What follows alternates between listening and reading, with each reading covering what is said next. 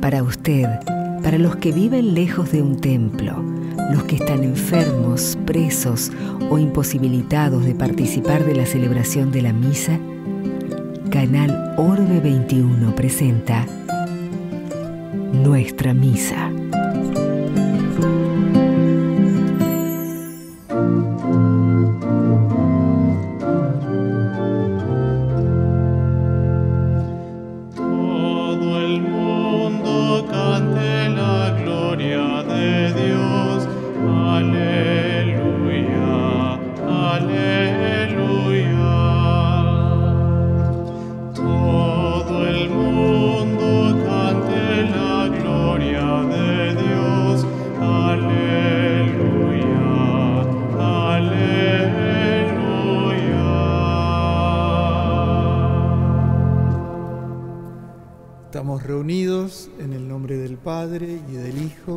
Espíritu Santo. Amén. El Dios de la esperanza que por la acción del Espíritu Santo nos colma con su alegría, con su paz, esté con cada uno de ustedes. Vamos a poner la mano en el corazón y a pedirle a Dios su perdón y su paz. Tú que no viniste a condenar, sino a perdonar, Señor, ten piedad que dijiste que hay gran fiesta en el cielo por un pecador que se arrepiente, Cristo, ten piedad. Tú que perdonas mucho a quien mucho ama, Señor, ten piedad. Y Dios Todopoderoso tenga misericordia de nosotros, que Él perdone nuestros pecados y nos lleve con Él a la vida eterna. Amén. Hoy, primer jueves de mes, rezamos para que tengamos muchas y santas vocaciones sacerdotales. Y por supuesto ponemos aquí en las intenciones de la misa, en el altar, todas las eh, intenciones que nos hacen llegar a ustedes a través de todos los medios. Oremos. Padre, que en tu providencia das pastores a tu pueblo, infunde en tu iglesia el espíritu de piedad y de fortaleza que suscite dignos ministros de tu altar y los haga valientes y humildes defensores de tu Evangelio. Por nuestro Señor Jesucristo, tu Hijo, que vive y reina contigo en la unidad del Espíritu Santo y es Dios por los siglos de los siglos. Amén.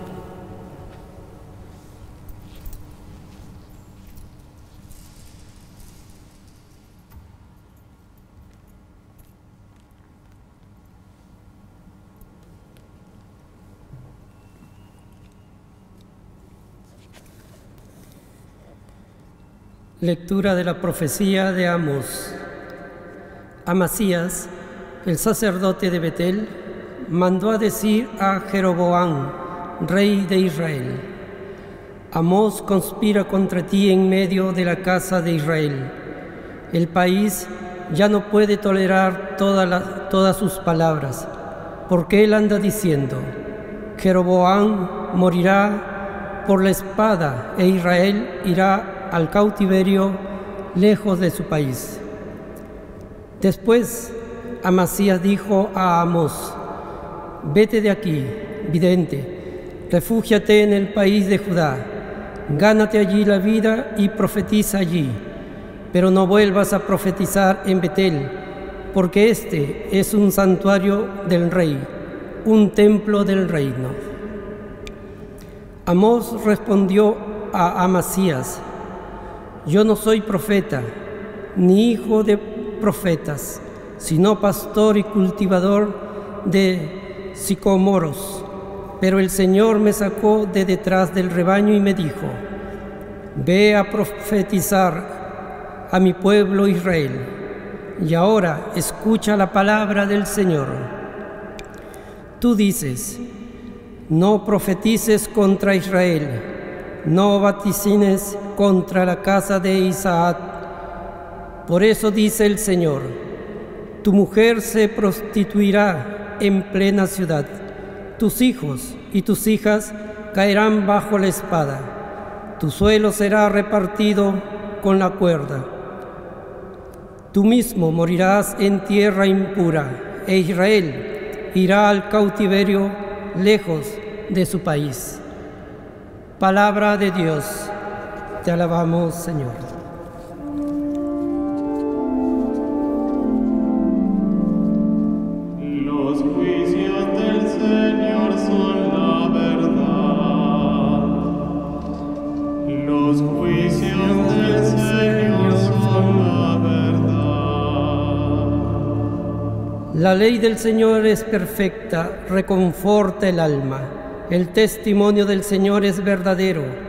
da sabiduría al simple. Los juicios del Señor son la verdad. Los preceptos del Señor son rectos, alegran el corazón. Los mandamientos del Señor son claros, iluminan los ojos. Los juicios del Señor son la verdad. La palabra del Señor es pura, permanece para siempre. Los juicios del Señor son la verdad, enteramente justos. Los juicios del Señor son la verdad. Son más atrayentes que el oro, que el oro más fino más dulces que la miel, más que el jugo del panal. Los juicios del Señor son la verdad.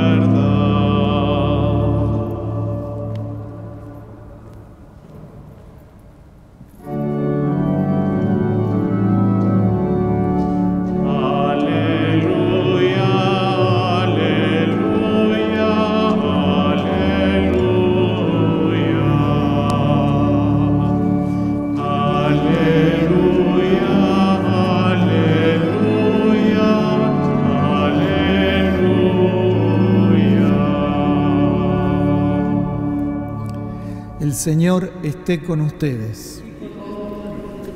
Proclamación del Santo Evangelio de nuestro Señor Jesucristo según San Mateo. Jesús subió a la barca, atravesó el lago y regresó a su ciudad. Entonces le presentaron a un paralítico tendido en una camilla. Al ver la fe de esos hombres, Jesús dijo al paralítico, Ten confianza, hijo, tus pecados te son perdonados. Algunos escribas pensaron, este hombre blasfema. Jesús, leyendo sus pensamientos, les dijo, ¿por qué piensan mal? ¿Qué es más fácil decir, tus pecados te son perdonados o levántate y camina, para que ustedes sepan que el Hijo del Hombre tiene sobre la tierra el poder de perdonar los pecados, dijo al paralítico, levántate, toma tu camilla y vete a tu casa. Él se levantó y se fue a su casa. Al ver esto, la multitud quedó atemorizada y glorificaba a Dios por haber dado semejante poder a los hombres. Palabra del Señor.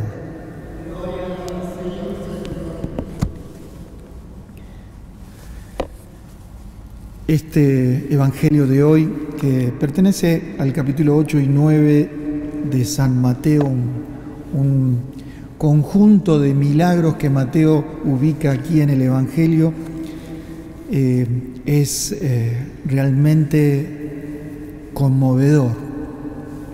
Un paralítico. El paralítico, todos lo sabemos, es el que no se puede mover. Esto tan obvio. Eh, nos ocurre muchas veces en la vida cada uno de nosotros paralizarnos no poder movernos, no poder eh, tener la energía para desarrollar la vida. La vida es movimiento y de algún modo el que no se puede mover, hay algo que no puede vivir, no puede desarrollarse, no puede moverse, no puede evolucionar, no puede vincularse. Y este paralítico, eh, dice el Evangelio de hoy, está tendido en una camilla, está tendido. A mí me, me sugiere esta palabra también, está rendido, está resignado, sin salida. Eh, la gente que está así eh, no tiene esperanza, como nos pasa hoy, precisamente como nos pasa hoy a cada uno de nosotros. Muchos de nosotros vemos que esta situación de la pandemia no tiene salida. El temor muchas veces es el que nos paraliza, el que no nos deja movernos, inclusive físicamente. No, no podemos abrazarnos, nos tenemos que distanciar. Estamos resignados a esta inacción y muchos de nosotros, precisamente por todas las graves consecuencias que ha tenido no solamente en el campo de la salud, sino en el campo laboral, en el campo económico, en el campo psicológico. Eh, vemos que se van como cerrando puertas para la salida, ¿no? Estamos muchos de nosotros rendidos o resignados, no hay salida. Hay un detalle aquí que eh, este evangelista Mateo no coloca, pero sí los otros dos de los sinópticos, Lucas y Marcos. Dice que eh, como, como, Jesús estaba dentro de la casa, en su casa, en, en Cafarnaún, y había una multitud de gente que lo seguía y que estaba al lado de él y no permitía ingresar a la casa, había gente también por fuera. Entonces, para eh, hacer llegar a este paralítico enfrente de Jesús, entre cuatro hombres suben al techo, arman un boquete, ¿eh? no eran los techos como los de hoy, arman un boquete y lo deslizan, lo bajan desde el techo, estos cuatro hombres, para ponerlo enfrente de Jesús. Y este hecho habrá llamado la atención de todos, pero fundamentalmente llama la atención de Jesús que inmediatamente se da cuenta cuál es el motivo más profundo de todo eso que está sucediendo, estos cuatro hombres y el paralítico, y es la fe, la fe en Jesús. Y es la fe la que hace la diferencia. Estos son cinco, los cuatro que transportan y el paralítico, cinco hombres que son llevados por su fe en Jesús a hacer esto que es eh, una cosa que eh, llama la atención de todos, ¿no? Y Jesús lo primero que hace es sorprendente también, porque si le llevan a un paralítico, eh, la confianza primera es que, que lo libere de su parálisis. Y sin embargo Jesús, apelando a esa fe y viendo lo más profundo del mal que sufrimos todos, ¿no? pero que especialmente estaba sufriendo ese hombre, les dice, tus pecados, ten confianza, le dice, ten confianza, hijo, una ternura increíble, tus pecados te son perdonados. Y deja sin palabras a muchos, pero fundamentalmente los deja sin palabra a estos escribas que estaban y piensan mal. Este hombre blasfema, blasfema es algo, un pecado directamente contra Dios. Se cree Dios y piensan mal de Jesús en vez de decir, ¿qué está pasando acá? Y Jesús también desde su ternura, lo que trata de hacer con lo que sigue en el Evangelio es tratar de que piensen bien. Y entonces, ¿qué hace? ¿Por qué piensan mal? ¿Por qué piensan mal? ¿Qué es más fácil? ¿Decir tus pecados te son perdonados o levántate y camina? Y esto que hace no es como si fuera un revanchismo, ¿no?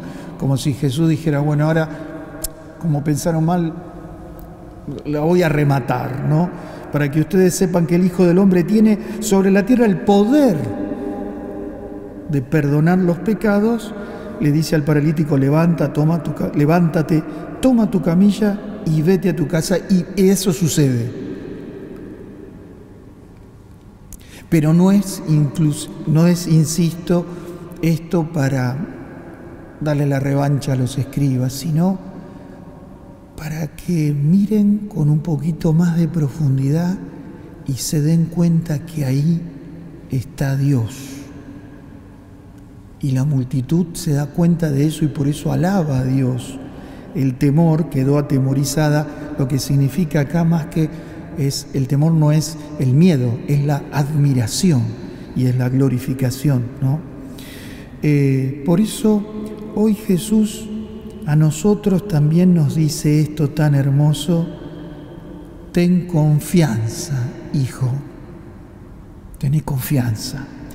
Poné tus parálisis delante de Jesús, que Él te las va a sanar. Por supuesto, poné tus pecados, poné todo aquello, eso inconfesable que tenés, eso que te hiere tan profundamente que es el pecado, pero también poné eh, todas tus miserias, eh, la violencia, el odio, la envidia, el celo, la mentira, la impureza, y también los temores, los bloqueos, los complejos, esas mochilas tan cargadas que estás llevando, ponelas delante del Señor. La desesperación de este momento, la tristeza, la falta de fe. Pone todo delante de Jesús que Él tiene el poder, pero no ese poder, ese dominio que nosotros vemos en los hombres eh, tantas veces, ¿no? Sino los hombres de poder, ¿no? Sino ese poder de perdón, de misericordia, de ternura. Pone también esos malos pensamientos de otros que no te comprenden, de que son indiferentes, de que te rechazan. Eh, y con la multitud también nosotros queremos hoy eh, alabarlo a Dios, que dio dice la última frase del Evangelio de hoy, semejante poder a los hombres. Esta frase tan rara, ¿qué quiere decir? Es que si vos te animás a perdonar como Jesús, también eso es un poder que va a transformar tu corazón primero y el de los demás también. Que así sea con la gracia de Dios.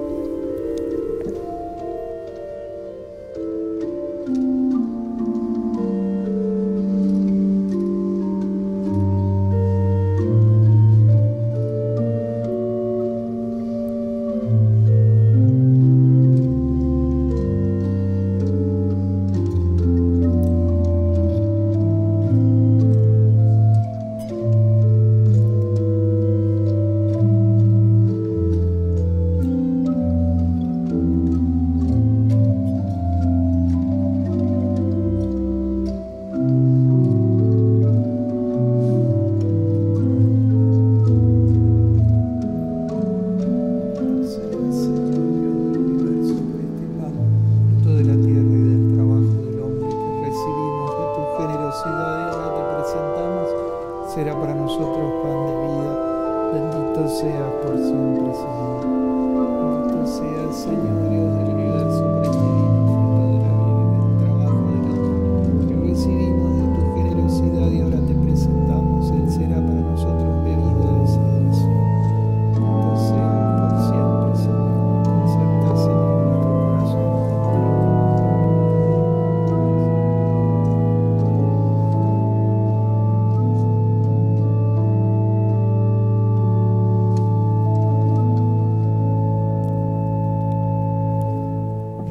Ahora para que esta ofrenda nuestra, la de nuestras vidas, sea agradable a Dios Padre Todopoderoso.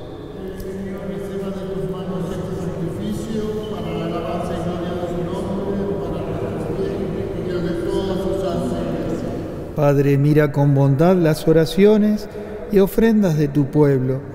Acrecienta el número de los dispensadores de tus misterios y haz que perseveren siempre en tu amor por Cristo nuestro Señor. El Señor esté con ustedes. Levantemos el corazón. Demos gracias al Señor nuestro Dios. En verdad es justo y necesario alabarte y darte gracias, Padre Santo, de quien proviene toda paternidad en el Espíritu, en tu Hijo Jesús, sacerdote eterno, siervo obediente, pastor de los pastores, pusiste el origen y la fuente de todo ministerio. Tú eliges dispensadores de los santos misterios con variedad de dones y carismas, para que en todas las naciones de la tierra se ofrezca el sacrificio perfecto y con la palabra y los sacramentos se edifique la iglesia. Por este misterio de salvación, unidos a los ángeles y los santos, cantamos con gozo el himno de alabanza.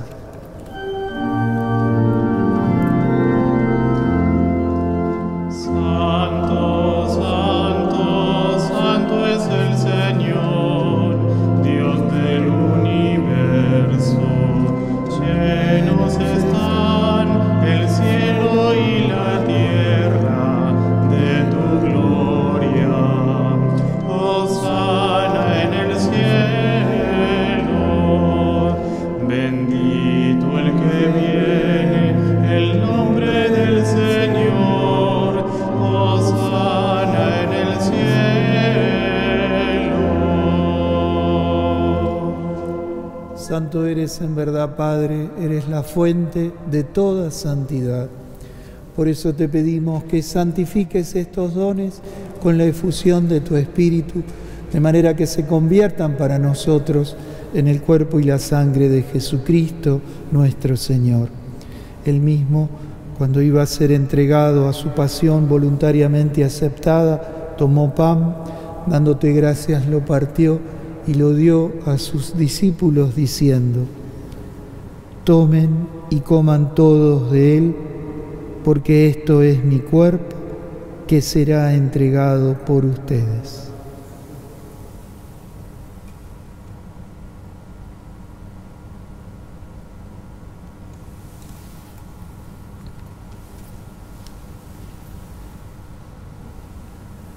Del mismo modo, acabada la cena, tomó el cáliz y dándote gracias de nuevo, lo pasó a sus discípulos diciendo, tomen y beban todos de él, porque este es el cáliz de mi sangre, sangre de la alianza nueva y eterna que será derramada por ustedes y por muchos para el perdón de los pecados.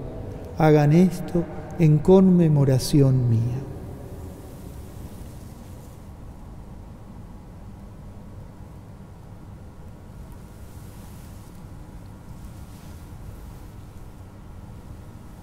El Señor está en medio nuestro. Él es el sacramento de nuestra fe.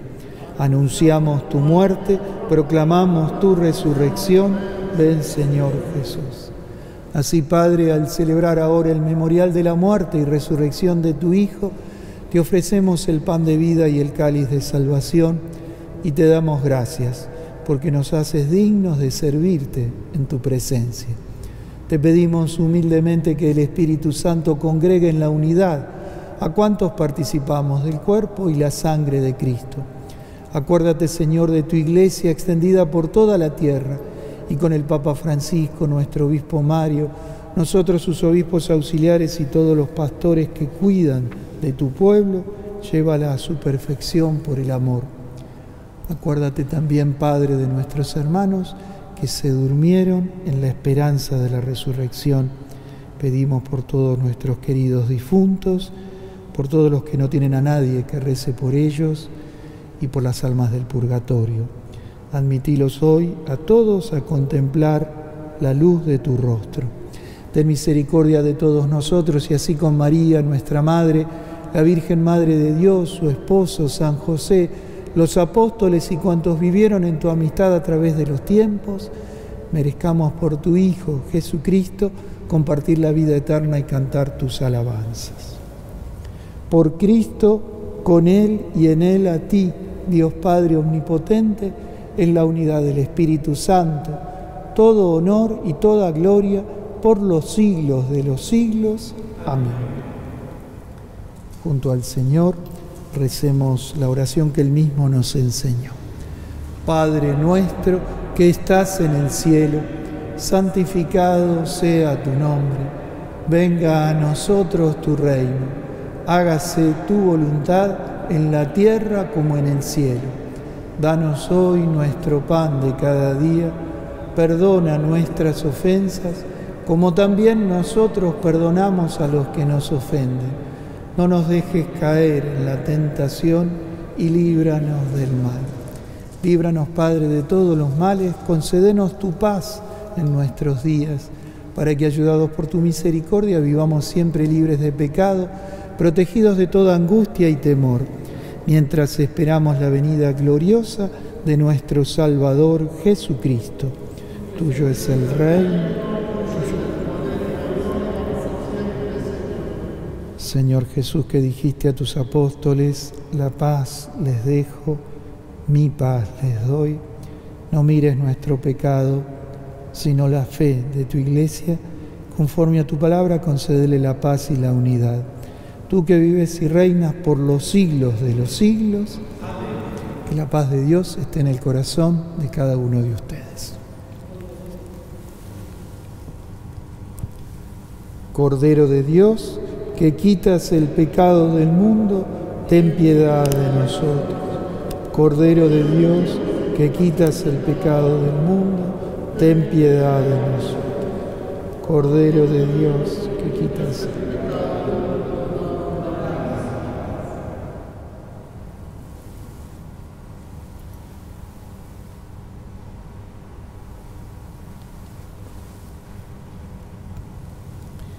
Este es Jesús, el Señor, el Cordero de Dios que quita el pecado del mundo y de nuestros corazones.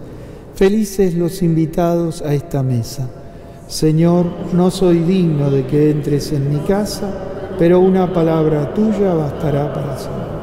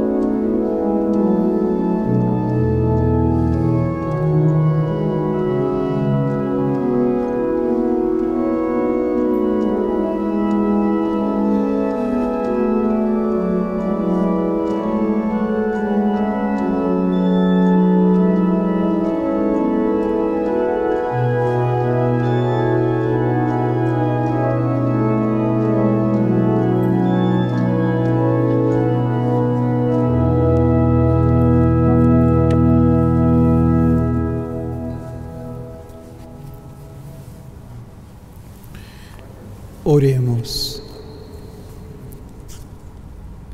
Renovados con el pan celestial, te pedimos, Padre, por este sacramento del amor, que germinen las semillas que esparces con generosidad en el campo de tu iglesia, para que muchos quieran dedicar su vida a servirte en sus hermanos.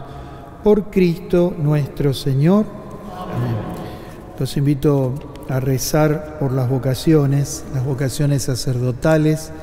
Eh, yo voy a hacer una, una oración, ustedes síganla con el corazón, pidiendo que haya muchos que quieran entregarle el corazón y la vida al Señor en el sacerdocio.